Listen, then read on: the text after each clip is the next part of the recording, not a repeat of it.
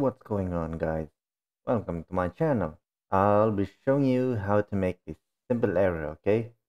I don't know how long I have been inactive. I believe it's one week. So yeah, I'll show you something simple today, okay? So I'm gonna show you how to make this arrow, okay? So let's begin.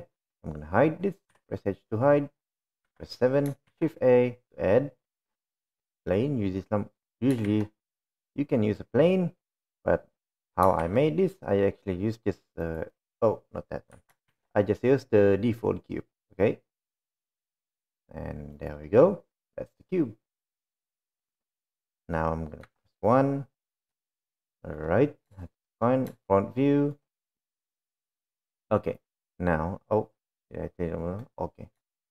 Now let's mirror this but actually you don't need to mirror it if you want to mirror it it's completely up to you okay?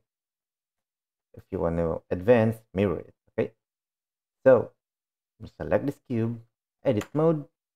I'm going to go to face select and i want this to be moved precisely. So in order for it to move precisely i will enable this snap tool okay? So i'm gonna go still in face select select the top face there press 7 go back to the top orthographic and grab that to the to the y g y. Oop. close that? I should select this one. All right there we go. Oh oh look at that. I think i've doubled it. All right now i'm gonna grab that to the y. To the z actually? My mistake? All right press one. I think that's long enough Okay. Now I'm gonna press E extrude to the Z. Okay. Something like that. Alright. Now I'm gonna add a loop cut. Control R to add the loop cut here. This is gonna be the point here, okay? Over here. So I'm gonna press one. I'm gonna make this point.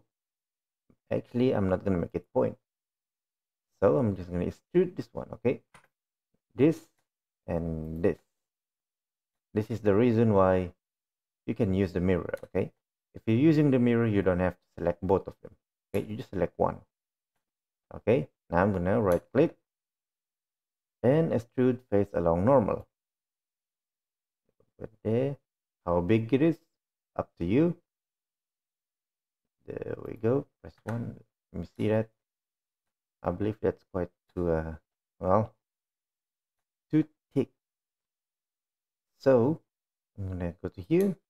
Select this space there. Press one. I press g to the z. Okay i want to make this even. Okay. So there it is. Even now and now it's not arrow yet it's just a big T okay? So how to make that arrow?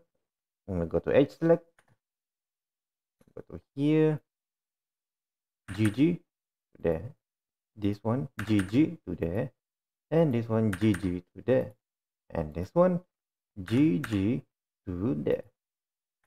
And let me see look at that you got an arrow okay? Now before we uh, do something we need to apply. Control a oh select select all. Control a no not. Ah all right oh right right right sorry sorry. Make sure and select all edit mode and press m. And merge them all by distance. Why i do that? I'll show you this one okay? You see that? You have eight vertices because you use the the gg before okay so I'm gonna press this one now. Edge select. Oh, you can press two. This one. I can grab this one now. It just depends on my liking. Okay. How big it is, up to you. And I think that would do. Okay. Now, I'm to keep this very simple and low poly. What I'm saying is, I'm just to keep it like this. So, we don't need this one this oh let me select anything here I don't need this one, this, this, this, and this, okay, because we don't need those anymore. So I mean, just press Control X. There we go. Control X does everything. Look at that. Got an arrow. Let me see if, if I have doubles again. Okay, we have no doubles, so that's good. Okay, so here we go. Let's paint shading. What paint color it is, it's up to you. Let me just go something very basic. Select, not metal, but I need the specular. I don't need the specular actually. Just go like that. I need the specular a little bit. So it looks like uh, more like 3D. Go to here. Alright.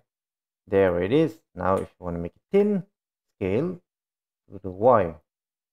And if you want to scale to the X as well, also fine. Press 1. There you go guys. That's how I make the arrow, okay? Some might say making arrow is actually easy. Well, everybody has different level. So yeah, that's all for today. Thanks for watching. Try it yourself making this simple arrow and happy blending. Okay now, I'll see you next time.